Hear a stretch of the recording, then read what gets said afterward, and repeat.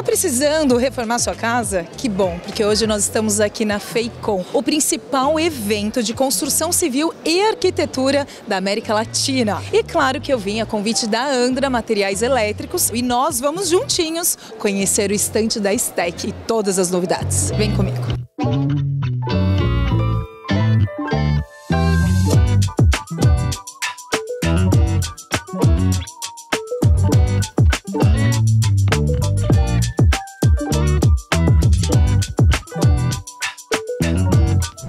FECOM é o ponto de encontro para empresas profissionais da área de construção civil e arquitetura, além do público em geral, para ficar por dentro dos lançamentos de novos produtos, serviços e tecnologias. O evento também é referência para a atualização profissional em diversos segmentos da indústria. Apenas na edição 2023 foram registradas mais de mil marcas expositoras, mais de 102 mil visitantes e 200 horas de conteúdos simultâneos. Para este ano, a organização revela que a feira está ainda maior, com aumento de 31% no número de marcas expositoras. Outras atrações também estarão na programação, como os núcleos de conteúdo, varejo e construção, as rotas de tecnologia e sustentabilidade, a casa cerâmica e outras experiências. Jaime Portugal, arquiteto pernambucano, que já realizou mais de 300 projetos, tanto no Brasil quanto em outros países, esteve na FEICOM no dia 2 de abril, logo na abertura do evento, e trouxe uma palestra muito interessante sobre a importância da parte elétrica no projeto arquitetônico.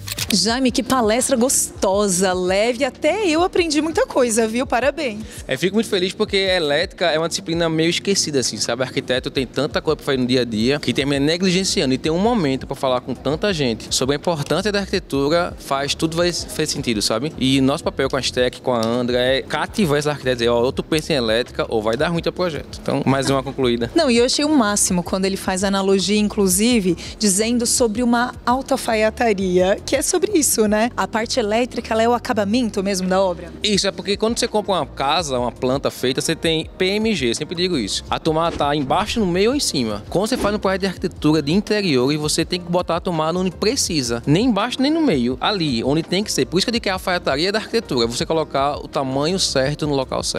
Como você pensa na casa com detalhe personalizado para o seu cliente, nós também no universo da moda, na consultoria de estilo, a gente personaliza o intuito do cliente, a imagem que ele quer passar para a sociedade. Fala para o arquiteto que está assistindo a gente, Jaime, qual é a importância mesmo dele se dedicar a esse projeto elétrico também, né? Trazer a elétrica à tona também, com a tamanha importância que ele dá para todos os outros itens do projeto arquitetônico, né? Tá, o, o arquiteto tem que saber que quando ele faz um projeto de interiores, aquela casa é única no mundo, não tem nenhuma outra casa, pode ser parecida, mas igual nunca. Porque cada cliente tem gostos diferentes, tem atividades rotineiras diferentes, tem altura diferente. Até brinco na palestra que eu pergunto qual é a altura de uma bancada. Todo mundo responde 90. Eu sei que fazem sempre isso. Só que se o teu cliente tiver 2,15 metros de altura, não adianta 90. Então, assim, tem cliente que gosta de cozinhar, tem cliente que não gosta de cozinhar, tem cliente que gosta de assistir filme, tem cliente que não gosta. Então, você tem que captar a essência do cliente e transformar aquilo em arquitetura, não só esteticamente. Tem gente que é do concreto, do marmorizado, do rococó, mas funcional. Colocar a tomada, se ele tem uma guitarra, se ele é barista, se ele tem uma cafeteira, então tem que ficar tomadas no lugares certos. Eli, que interessante, né? A Andra trouxe mais de 100 arquitetos para a FECOM e também para ficarem por dentro dessas tendências, com tantas palestras super legais, né? Sim, a importância dessa parceria com os nossos fornecedores, principalmente a Stack, que é um parceiro nosso há muito tempo, e eles trazendo essa inovação e trazendo, mostrando a importância de um projeto elétrico e com esse grande profissional que é o Jaime, assim, que realmente ele é, é, surpreende a gente com as palestras e a, essa é a grande importância dessa parceria com os arquitetos. E hoje nós trouxemos quase 100 arquitetos vindo do Vale do Paraíba, então foi uma experiência muito é, inspiradora, viu, gente? E nós vamos estar em São José dos Campos com o Arquiday, hein? Prepare-se, gente, que nós vamos lotar. E falando um pouco sobre automação. Houve um tempo que a automação era luxo. Hoje em dia, eu já arrisco dizer que não existe mais casa que não tem automação. Seja numa câmera, seja numa fechadura eletrônica, seja num plug. Então, quando você pensa em automação, você tem que pensar em facilidade. Né? A gente tem que absorver a tecnologia a favor do cliente. Então você tem que estudar e se aprofundar. Tem um, tem um recurso que todo cliente quer, que chama de Master Office. Você sai de casa e você desliga em um botão ou em um comando todas as luzes da casa. Quem não quer isso? É praticidade, sabe? Isso é você trazer a, a modernidade para perto. Então, automação não é mais luxo. Automação é realidade e necessidade. E eu vou te falar que eu tô amando minha casa toda automatizada, tá, gente? Vocês já viram aqui no meu canal do YouTube. Agora eu tô um nojo que eu abro meu celular com os plugs da Stack. Eu ligo todos os abajures. E olha que a mim, eu tô precisando reformar tudo ali, viu? E mesmo assim, com o plug inteligente da Stack, eu consegui fazer milagre lá na minha casa. Lá em casa eu brinco eu coloquei uma tomada para funcionar a partir de 29 graus. Quando bate 29, liga o aparelho que tá plugado. Que demais! Olha, já vou aderir essa dica, gente. Gostaram? Você é maravilhoso. Obrigada, querido. Sucesso. Obrigado, Stack Bra, pelo convite. Andra, pessoal da Schneider. É incrível compartilhar esse Brasil afora sobre arquitetura e ver gente no, na plateia sem vaidade, sabe? Porque a arquitetura é um cenário muito vaidoso. E quando tem gente querendo aprender, eu querendo falar e querendo trocar, é o que precisa. É a fome e a vontade de comer, sabe? Então, obrigado pelo convite. E que importante, né? Essa parceria de Andra com Stack e conseguir trazer tantos arquitetos para ficarem mais por dentro de um projeto elétrico. Sim, por isso que nós temos os grandes parceiros, né? Como a Stack, que abraçou a causa com a gente, com esse segmento de arquitetura. E é muito importante, gente, porque ninguém faz nada grande sozinho, né? Então é importante essa parceria mesmo e trazer inovação para os nossos profissionais que caminham com a gente. Por isso, essas duas grandes empresas trouxeram cerca de 200 profissionais da área de elétrica e arquitetura aqui da Grande São Paulo para prestigiar este grande evento. Mônica, e qual é o critério para vocês selecionarem os profissionais que vocês convidam a vir aqui nesse evento tão importante? Na verdade, não tem critérios, Suelen. Todos os arquitetos ou eletricistas que são parceiros da Andra são muito bem-vindos a participar aqui dos nossos eventos e das nossas palestras que periodicamente realizamos nas lojas. E vocês fazem bastante eventos, né, pelo que eu vi? Claro, a Stack, é uma, a Stack Schneider é uma empresa que valoriza muitos profissionais de modo geral. São eles que influenciam e também ajudam o nosso consumidor final a fazerem as melhores escolhas. Inclusive, vocês estão trazendo palestrantes aqui, influenciadores, é isso, do ramo de elétrica e arquitetura? Perfeito, Suelen. Nós estamos trazendo o Jaime Portugal, que é um arquiteto influenciador é, da região Nordeste, que tem um approach muito importante e muito interessante sobre como utilizar a elétrica nos projetos. É, temos também o canal Electricity, o canal da elétrica, o Mundo da Elétrica, que vai trazer um conceito muito bacana de como os profissionais eletricistas podem vender melhor o seu trabalho nas redes sociais, e o Everton Moraes, do Sala da Elétrica, que traz também a provocação da automação. Como você pode valorizar melhor o seu trabalho e o seu dia a dia como eletricista, colocando tecnologia nas suas instalações.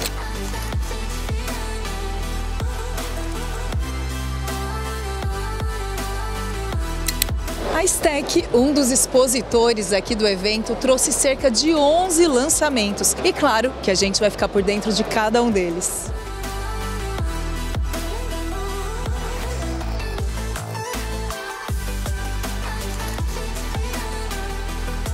E eu já estou animadíssima para ver todos esses produtos na prateleira e garantir para minha casa também, né? Já sabe onde eu vou encontrar, né, esses produtos? Na Andra Materiais Elétricos, gente. A Andra, inclusive, está recebendo um prêmio hoje aqui na Feicom. Tomás, e conta pra gente um pouquinho sobre os lançamentos da Stack aqui para Feicom. Então, temos muitos lançamentos aqui, temos mais de 11 lançamentos. Realmente estamos renovando algumas gamas, como por exemplo a Lunare, que é uma ícone, uma a maior base instalada agora vai se chamar a Lunare Up, que é uma gama um clássico renovado, sempre moderno, sempre atual, o que chamamos de sempre Schneider. Então isso vai ser uma grande novidade que já estamos lançando para construtoras, para todas as nossas novas construções, para dar esse tom sofisticado e moderno. E eu confesso que eu me identifico muito, já quero colocar na minha casa toda essa linha nova. Aliás, acho que faremos um vídeo só sobre esse lançamento, viu? Todo o ambiente conectado, como você sabe, precisa ser renovado o tempo todo. O mercado é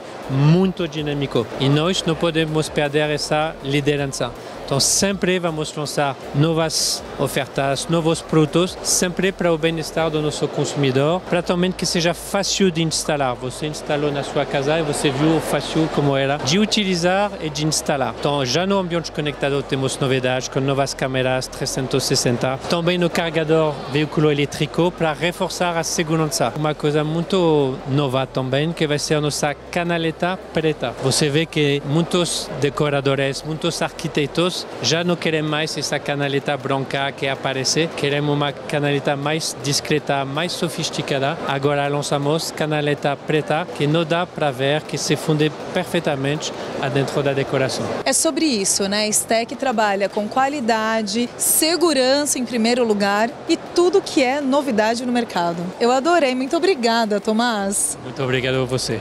Adonira, conta pra gente um pouquinho a importância dessa feira para vocês do ramo elétrico. Olha, a Feicom é uma é onde a gente consegue, onde o eletricista, onde o profissional da construção civil consegue ver os produtos que ele utiliza e muitas vezes na prática. Então é onde a gente se reúne, é de grande importância para a gente conseguir crescer na profissão, conhecer novidades. É uma coisa que a gente vê, inclusive, com muita frequência é, com a parceria entre Stec e Andra. E fala pra gente sobre a sua palestra, né? Qual é o tom dela e como você pretende impactar os outros eletricistas?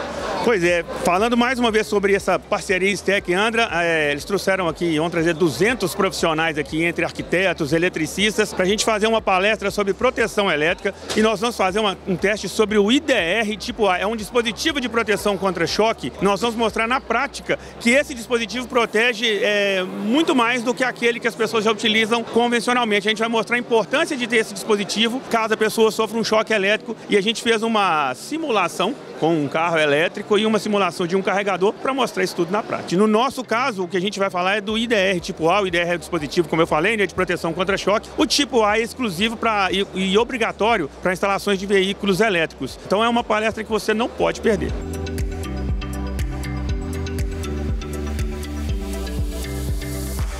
É porque é o seguinte, tem um que é obrigatório em instalações elétricas. Na, em nossas residências já é obrigatório na NBR 5410, se não me engano, desde 1997. Ele é obrigado a ser utilizado em áreas molhadas, áreas onde a pessoa pode sofrer um choque elétrico ao conectar uma tomada. Então, é onde você pode sofrer choque elétrico. Esse é o tipo AC. E agora, a STEC trouxe o tipo A, que é exclusivo para veículos elétricos. Então, se eu utilizo, por exemplo, tipo AC num local onde eu tenho um carregamento de veículo, se eu sofrer um choque na carcaça do carro, eu posso vir a óbito, porque o IDR AC não é indicado para isso. Então, o obrigatório é o tipo A e a gente conseguiu fazer uma simulação, é esse carinha aqui, ó. De aspecto, ele é bem, bem idêntico. A gente vai ter informação nele aqui, no corpo dele, a gente tem informação tipo A, que é mostrando a, a, a, com que ele atua. Ele atua, pessoal, trabalhando com corrente contínua e alternada. Muitas vezes no carro elétrico a tem a corrente contínua. Então, se alguém sofre um choque elétrico no carro, quem vai te proteger é esse carinha aqui. E não o IDR tipo AC. A gente vai conseguir mostrar isso na prática e mostrar a diferença de um para o outro, além de uma palestra sobre o trio de proteção da STEC, IDR disjuntor e DPS. Além da parte elétrica, a feira também traz novidades em outras áreas, como hidráulica, ramo de construção em geral, pinturas e muito mais. Meus amores, eu espero que vocês tenham gostado desse vídeo. Aqui tem muita novidade para vocês, eu vou deixar na descrição as informações de Andra e Stack. Lembre-se de deixar o seu like e compartilhe essas informações. Beijo e até o próximo.